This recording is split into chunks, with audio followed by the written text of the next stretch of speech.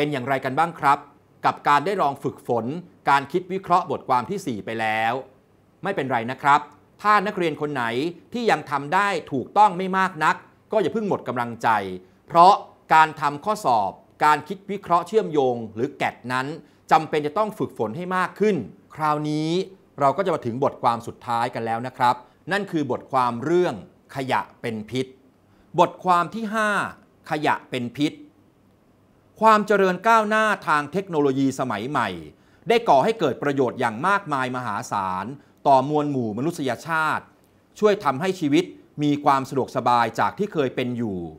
เทคโนโลยีทำให้มนุษย์ในยุคปัจจุบัน มีเครื่องใช้ไม้สอยที่ช่วยสร้างความสุขให้กับชีวิตอย่างมากมาย จนบางครั้ง มนุษย์ก็หลงลืมไปว่า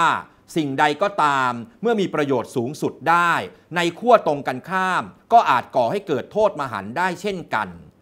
และสิ่งที่เป็นโทษมหันต์ของความเจริญก้าวหน้าสูงสุด ทางเทคโนโลยีก็คือขยะพิษ หรือขยะอิเล็กทรอนิกส์ ที่เป็นผลตามมาจากการใช้อุปกรณ์ทางเทคโนโลยีสมัยใหม่นั่นเองจากรายงานของกลุ่มนักศึกษาและรณรงค์ปัญหามลพิษอุตสาหกรรม ได้ระบุถึงสถิติในปี 2546 ถึงปี 2549 พบว่ามีการนำเข้าขยะพิษเข้ามาในประเทศไทยถึง 3 0 0 0 0ตันจาก 7 ประเทศทั่วโลก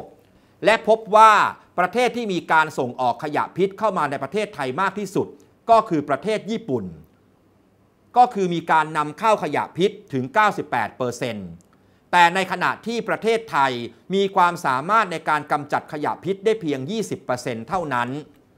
และในประเทศเพื่อนบ้านของเรา อย่างเช่นประเทศจีน ก็มีการนำเข้าขยะพิษจากสหรัฐอเมริกา เพื่อนำไปแปรรูป ทั้งๆทที่กระบวนการดังกล่าว ยังไม่สามารถรับรองความปลอดภัยได้เท่าที่ควร ดังนั้นปัญหาเรื่องขยะพิษจึงเป็นปัญหาสำคัญที่จะต้องหาทางจัดการอย่างมีประสิทธิภาพ ขยะพิษที่เรามักจะพบเห็นกันอยู่ สามารถแบ่งออกได้เป็น 2 ประเภทด้วยกัน คือขยะพิษได้แก่ ถ่านไฟฉาย หลอดไฟ และแบตเตอรี่ทุกชนิด กับขยะอิเล็กทรอนิกส์ อันได้แก่ อุปกรณ์เครื่องใช้ไฟฟ้า เช่น ตู้เย็น โทรทัศน์ นอกจากนั้นยังมีคอมพิวเตอร์ เครื่องปรับอากาศ โทรศัพท์มือถือ และอุปกรณ์ที่มีอยู่ในโรงงานอุตสาหกรรม แต่อย่างไรก็ตาม บรรดาขยะพิษทั้งหลายก็จะมีสารพิษเจือปนอยู่ด้วย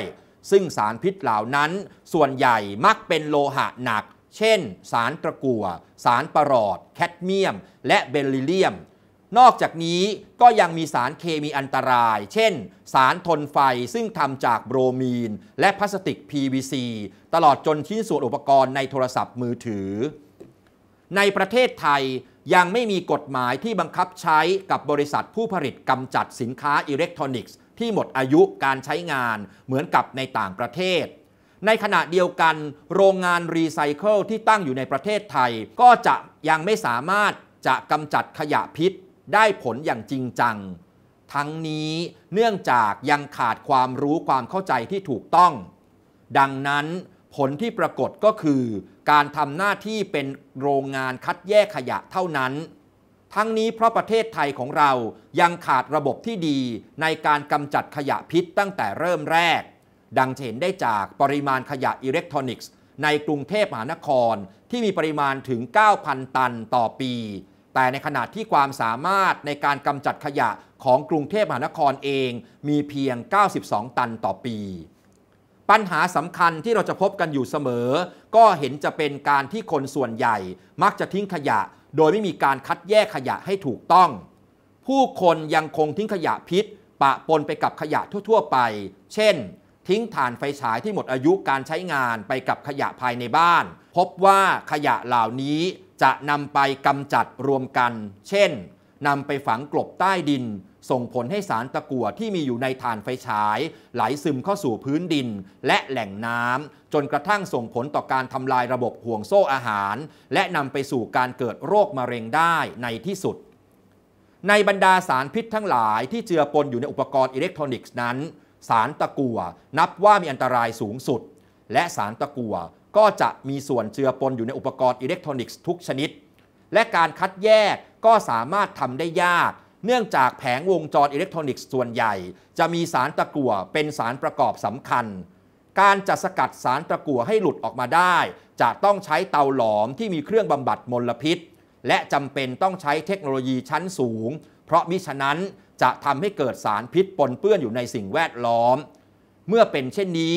จึงไม่มีบริษัทเอกชนรายใด คิดจะดำเนินการสร้างโรงงานกำจัดขยะพิษขึ้นในประเทศไทย ด้วยต้นทุนการดำเนินการที่สูงมาก ดังนั้นประเทศไทยของเราจึงใช้วิธีการฝังกลบขยะพิษกันในปัจจุบัน ในขณะนี้กำลังมีความพยายามขับเคลื่อนการร่างกฎหมายในการกำจัดและควบคุมขยะพิษ ให้มีผลบังคับใช้อย่างจริงจัง กล่าวคือ ภาครัฐได้เสนอแนวทางควบคุมดูแลขยะพิษแบบครบวงจร ตั้งแต่การให้ผู้ผลิตสินค้าอิเล็กทรอนิกส์ทั้งหลาย เป็นผู้รับผิดชอบในการกำจัดขยะพิษ มีการออกกฎหมายเพื่อควบคุมดูแลการกำจัดขยะ ตั้งแต่ระดับชุมชน เพื่อเป็นการป้องกันปัญหาขยะพิษ ตั้งแต่ต้นมือ ในขณะเดียวกัน ก็จะต้องสร้างความตระหนักแก่ผู้คนทั่วไป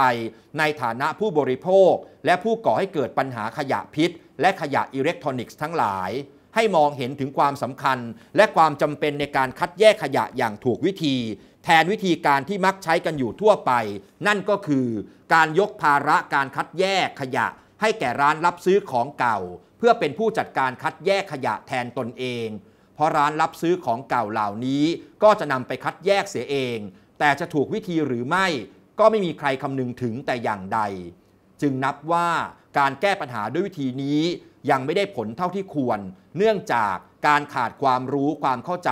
และมาตรฐานในการคัดแยกขยะนั่นเอง จากแนวทางดังกล่าวข้างต้น